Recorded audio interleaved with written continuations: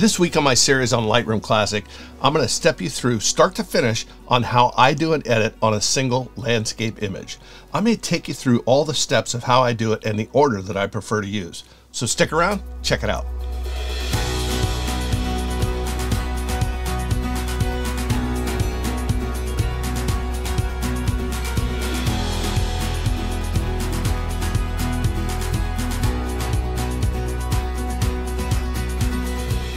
Hi, I'm Terry Vander Heiden here to show you how I do an edit on a single landscape image. Now, I like to take my time when I'm doing my editing on landscapes, and just like when I'm photographing landscapes, I like to take my time and get it the way I want it. So there's a lot of steps here, but I'm going to take you through bit by bit and show you how I do it. So let's get started.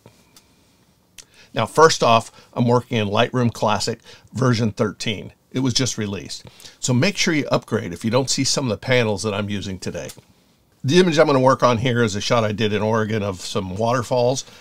And what I did was this was shot with the 14 to 24, shot at about 20 millimeters to capture this area the way I wanted it. I had some neutral density filters on the lens in order to soften the exposure of the water that was passing through. And so let me show you uh, how we edit this image. So this is the raw image. And there's a few things that I want to do first. So when we go into the develop module, the first thing I'm going to do is do just a little bit of cropping. Up here in the top, you can see there's some kind of light areas that are a little distracting. So I'm going to pull that down just a little bit. And then down here, there's some rocks that we don't really need, so we're going to pull that up a little bit. We do want to keep this, as much of this rock as possible, so that's about as much cropping as we're going to do. So the next thing I want to do, just so we can kind of go back and forth, is I'm going to create a virtual copy. And this is a pretty good technique when you're learning. Make a virtual copy and you can do different versions of what it is that you're working on. And it gives you ability to always go back to the original. So these are identical other than what we make the changes on this one. So here we go. First thing that I see is the first thing I try to do is I look at things that are distracting to me, things that I want to get rid of. So the thing that's most distracting to me is this patch of sunlight up here because the contrast, the high contrast parts of the image will draw a viewer's attention and I don't want them to do that. I want to make sure that something like this isn't going to be uh, an area that's going to distract somebody. So I'm just going to probably use the most simplest way to remove it. So we're going to go over here to this remove tool, grab the, the uh, rubber stamp tool and make a little bit bigger brush and then just brush over it. Same with this one. Same with over here. And it did okay job, but not great. But then we go into the, the content aware section of this, and we're just going to wipe over that. Start getting this thing to just to dissolve away so people don't really recognize that this bright area here is out. We don't want to see that.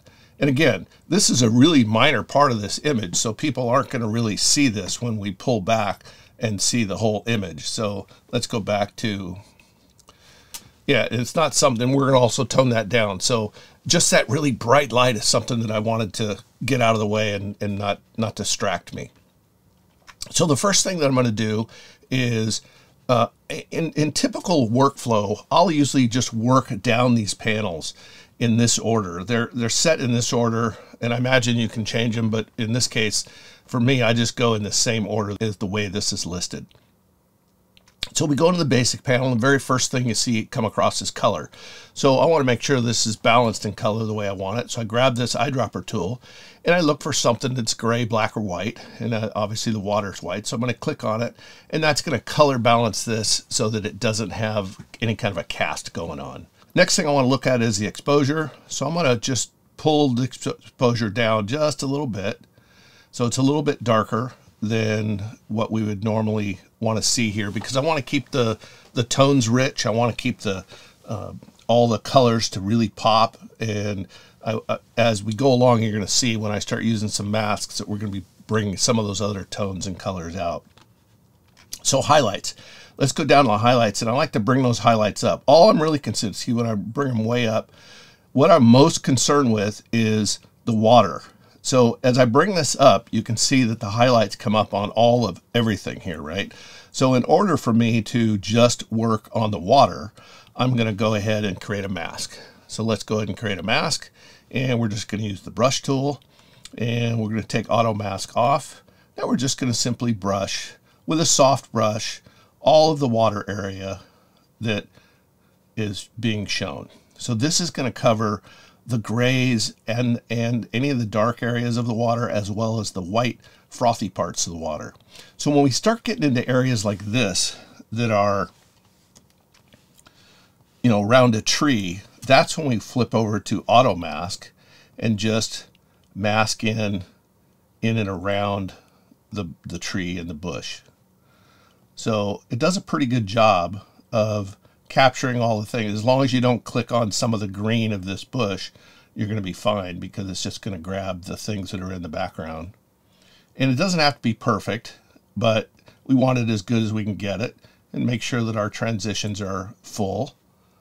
So we're not leaving gaps in between. See how this streak here, that would be kind of a gap. We want to just fill that in to make sure that that's all complete and masked. Let's go in here and mask in through here. And again, this is a minor, we're going to make some minor changes to this that aren't going to be necessarily seen in, in great detail.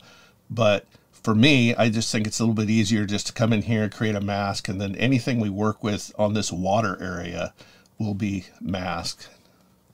So let's zoom back out to where we were. See if we missed anything. Yeah, we missed some gaps there up here. Let's go and zoom it up into here.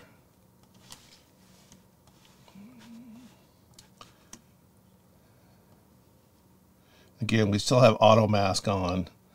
So you got to keep an eye on it to make sure that it's grabbing everything you want to grab and not grabbing things that you don't want to grab.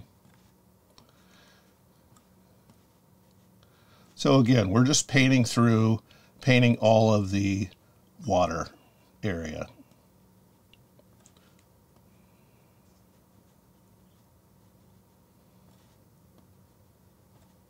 Now you can see here, we actually put some mask over this branch and I don't really want to do that. So we're going to take auto mask off and we're going to come up here to our mask and we're going to go subtract. So we're going to subtract from this mask. So let's just take a soft brush and and subtract. See the little minus sign in there? That means we're going to subtract from this mask. And we'll just take the red out of that tree branch so it's a little bit cleaner. So this is going to be the water. So we're going to name this water. And we'll click OK. And as we pull back, we can see that we've corrected, I mean, we've masked the entire water area.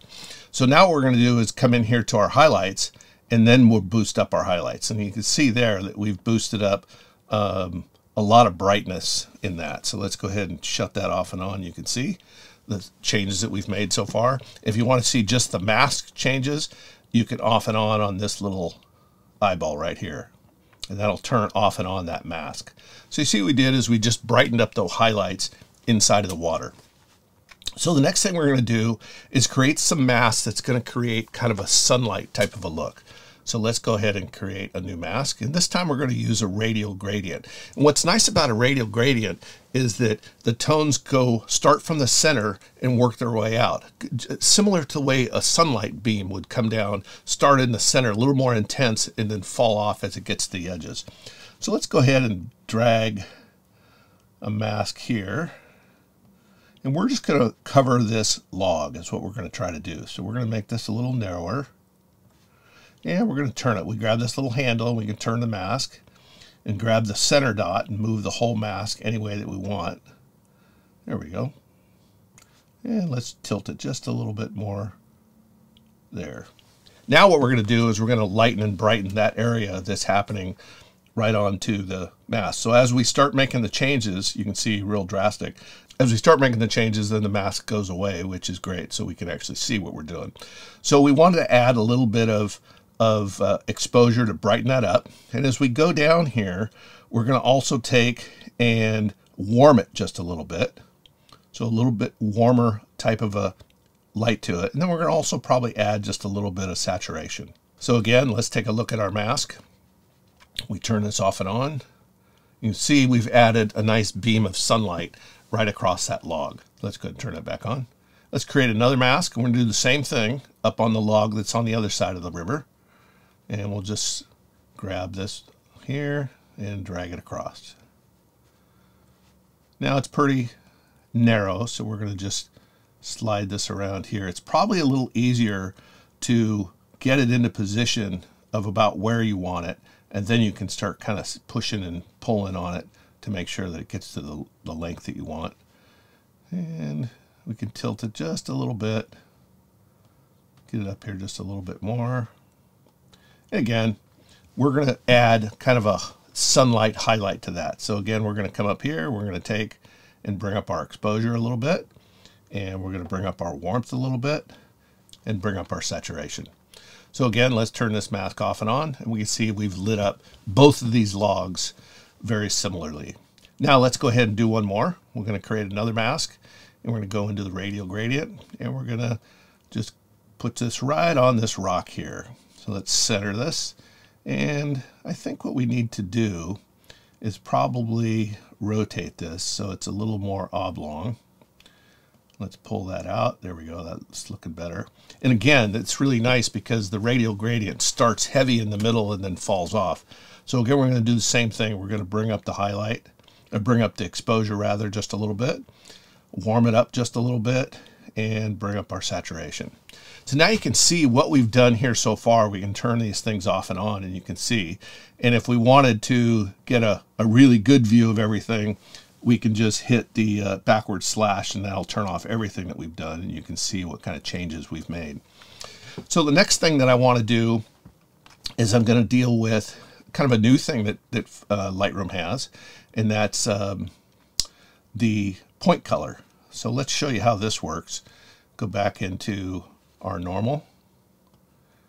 And with point color, it's under color mixing. So we go under color mixing and we can see here that we have two choices. It opens up as a mixer, which is typical of what we're probably used to. And then point color is the new version where it allows us to take our eyedropper tool and grab colors and make changes to just those specific colors. So what I want to do is I'd like to make this leafy green branches of fern to be a little greener than it is. So how do we do that? If we come in here with point color and grab some green, for instance, you can see in the magnifier, we can grab the green. And then let's just, we're going to do something real dramatic here. As we bring that up, what it does is it grabs all of the green throughout the whole image, right? We don't want that. So we're going to undo that. And now what we're going to do is we're going to have to create another mask, right? So let's go ahead and go to our masking tool and we're going to use a new mask and this is also going to be a brush tool. And this will be on this here. So let's go ahead and zoom up so we can see what we're doing. And this is the this is the branch that I want to make a little greener. We have to have the auto mask on otherwise we're not going to be able to capture this at all. Yeah see how that grabs? You know we don't want to a little bit of spill is okay but we don't want to spill too much because we really want this the branches of this tree to be greener. So we can just click in there and using that little plus tool, make sure that that plus tool is on the area that you want to have green. And then we can just mask out all of this little leafy area so that we can make some changes to it. Now let me do that. And what we'll do is we'll probably speed up the recording here so you're not seeing all this tedious work.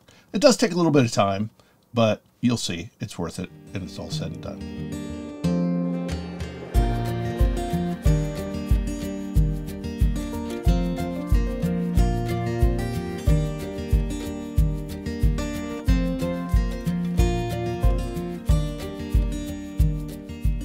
So we've done enough masking of this tree and it, it's a little tedious, but it does take time. And that auto mask feature is awesome for doing around leaves and inside of leaves. So let's go ahead and come down to point color. What's interesting is that inside of your panel of mask, you have all kinds of options to choose from, right?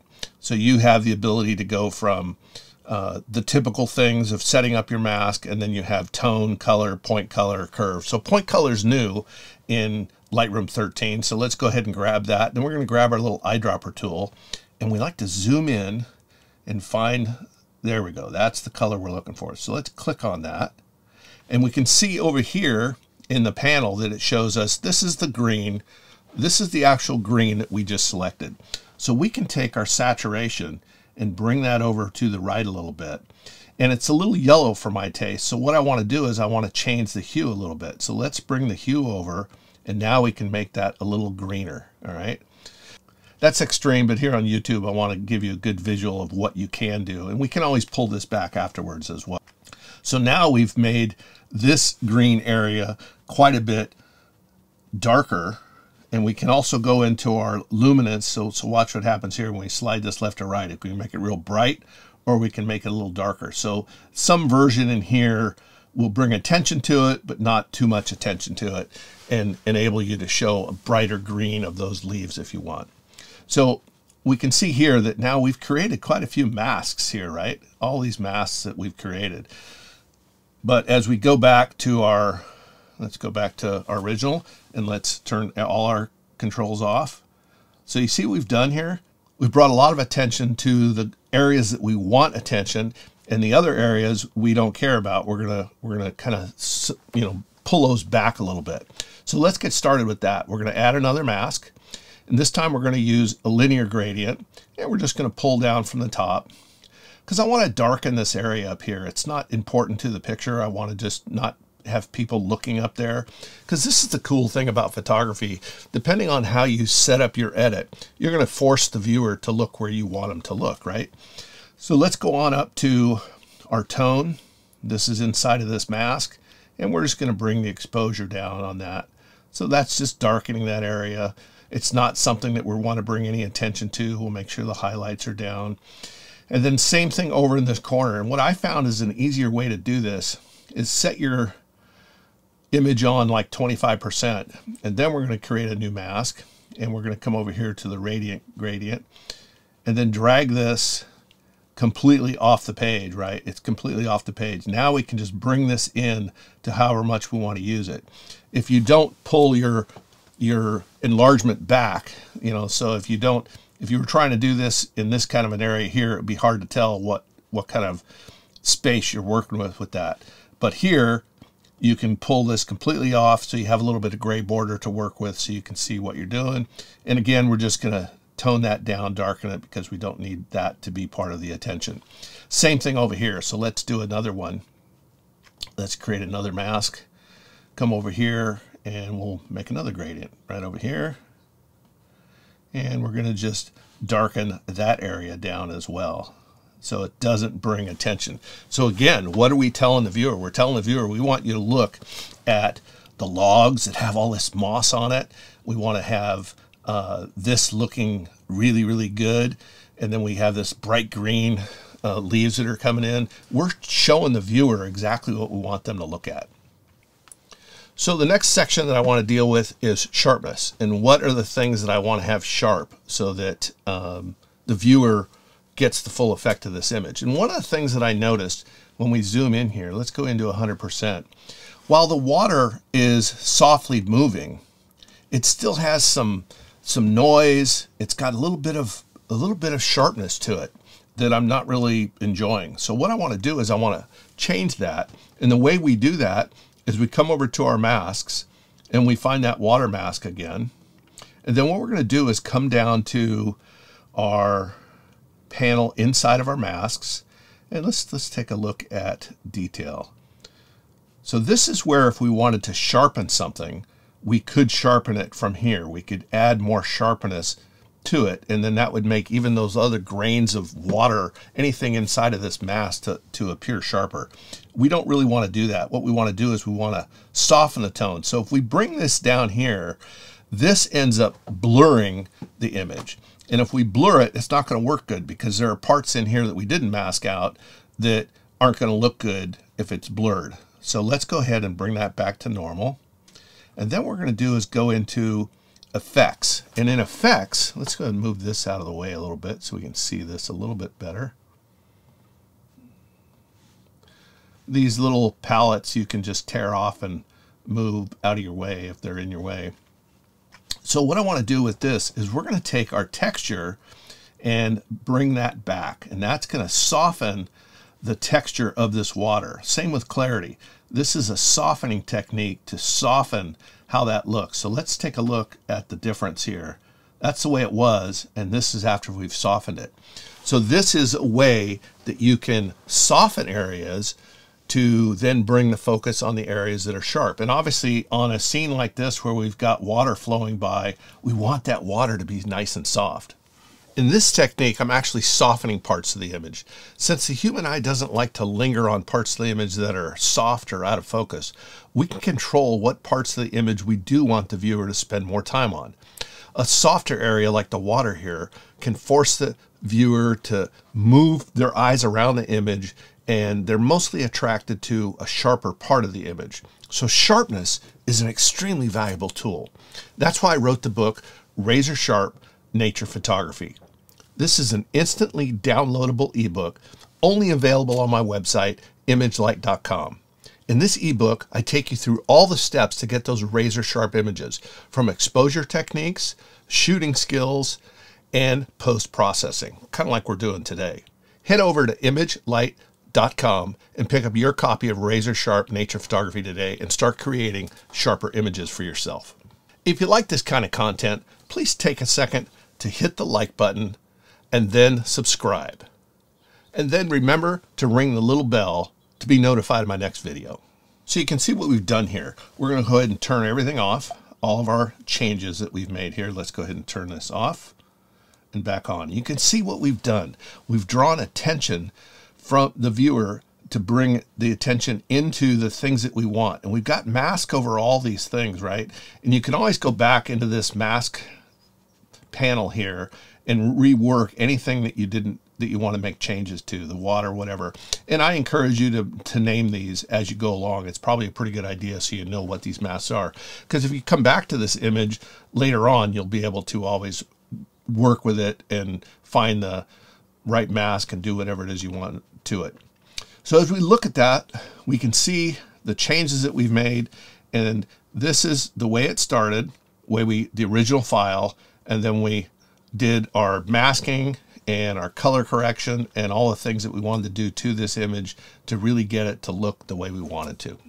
So I hope this gives you a little bit of an insight into the steps that I take. I think that when we're doing our landscapes, we take so much time to make sure our composition's right and the image is exactly how we want it.